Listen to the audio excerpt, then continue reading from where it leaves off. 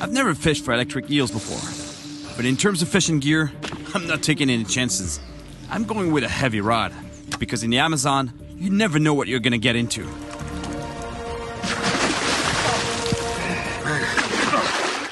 That's, that's the reason why you have to fish with some heavy gear in the Amazon. You never know what you're gonna find. There's all kinds of monsters here. Man, it's a beautiful arapaima, or pirarucu, in indigenous language. And what pirarucu means is literally red fish. It comes from the fact that they have red scales like this. Because pira means fish, and uruku means red.